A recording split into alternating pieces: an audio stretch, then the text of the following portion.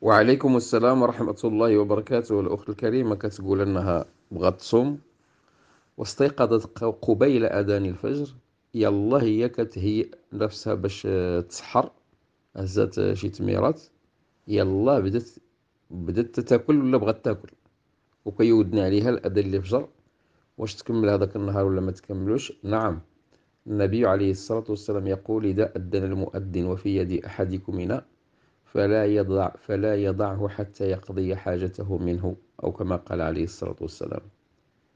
إذا كانت هذه مرة على شحال مثلا الإنسان مهيئ راسو باش يتسحر يلاه بدا ولا غيبدا وكيودل عليها الأذان وهذا الشيء اللي دارت هذه الأخت هذا نعم. لأنها خفات كلات غير ثلاثة تميرات وشوية الماء. نعم. حتى النبي صلى الله عليه وسلم يقول أفضل سحور المؤمن التمر. أفضل سحور المؤمن التمر. والمؤمن إن لم يجد إلا التمر فليتسحر به فإن فيه بركة. فإن لم يجد حتى التمر يحسو حسوات من ماء وينوي فيه السحور. لأن السحور هكذا إذا كان بهالطريقة ما كاين حتى مشكل.